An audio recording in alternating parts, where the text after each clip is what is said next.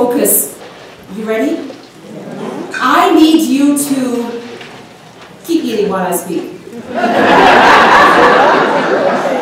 now, I want us to do something that is going to illustrate the next point I want to make about listing out your productive desires. Because, by the way, I mentioned productive because I think we all have, well, let me, let me rephrase this. We all could be tempted to have unproductive desires.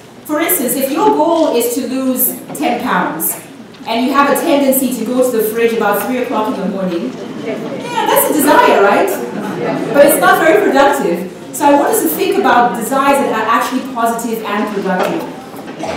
Please raise your hand if you noticed more yellow this time. Okay, why did you notice more yellow? Because you were looking for it.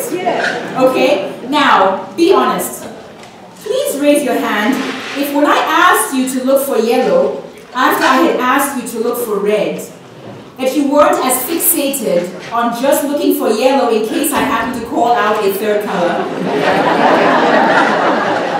okay, okay. Now the important, the reason that I did this exercise is for an important reason because as you start to think about inviting more productive desires into your life, you are going to get distracted.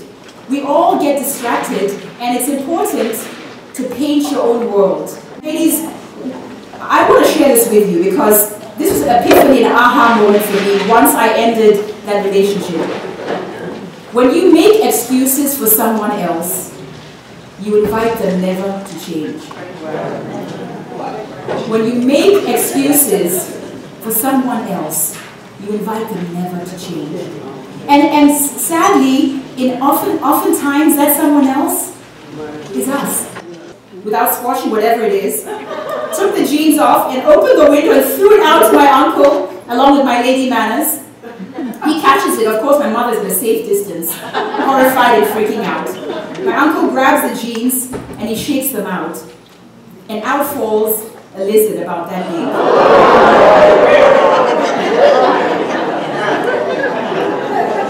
now, ladies and gentlemen, that I do not like reptiles?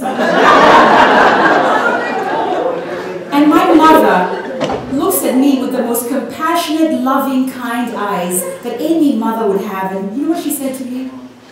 You know, Sylvia, you need to start wearing some skirts and dresses more. This sort of thing won't happen to you.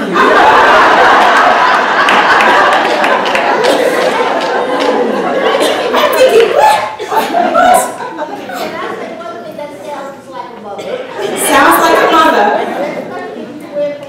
Absolutely, and I do wear pants a lot, and I'm not, I'm not going to stop. Not even for lizard. But the point of this, ladies and gentlemen, is be proactive with your self-care. Don't wait until the emergencies. If you can see a primary care provider, why wait till the emergency room? Or, you know, the key is if you're not proactive with your self-care, you might end up with a lizard in your pants.